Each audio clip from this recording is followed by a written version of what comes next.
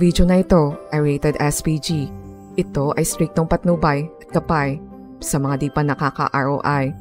Pero kung katulad kayo ni Nunki na malaki ginastos pero kinakaya pa din, pwede ito para sa inyo. Halika kayo mga viewers, anto nga yan ang kwento ni Nunki Yaxi.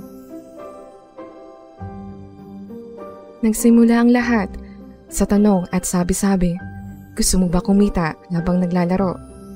Sa buong buhay ni Nunki sa paglalaro, ngayon lang niya ito narinig. Kaya si Nunki ay nag-explore. Nagtanong-tanong kung kani-kanino. Ano nga ba itong sumisikat na laro? Ano nga ba itong NFT game?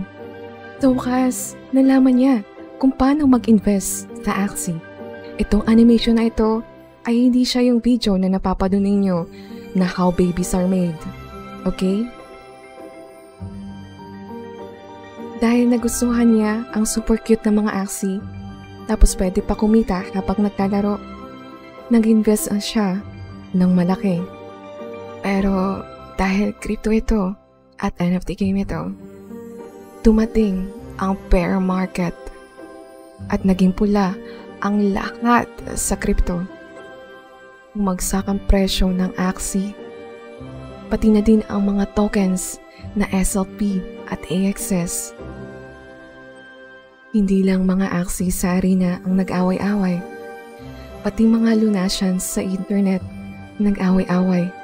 Tinatanong, kailan nga ba tataas uli ang value na Axis at tokens?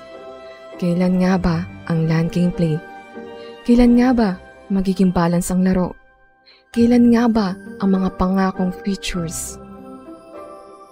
Ngunit kahit anong away, dead ba ang Axie dahil patuloy lang sila sa pagde-develop ng laro.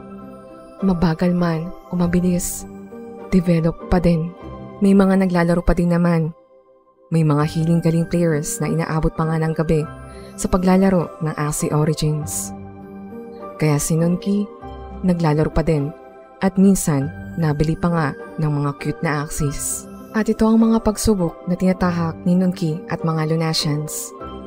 Pero hoping ang marami na sa future mas maging okay ang gameplay ng Axie. Ang tanong, kailan nga ba makaka-ROI si Nunki? At yun ang aabangan natin sa mga susunod na kabanata. Ito ang kwento ni Nunki Axie.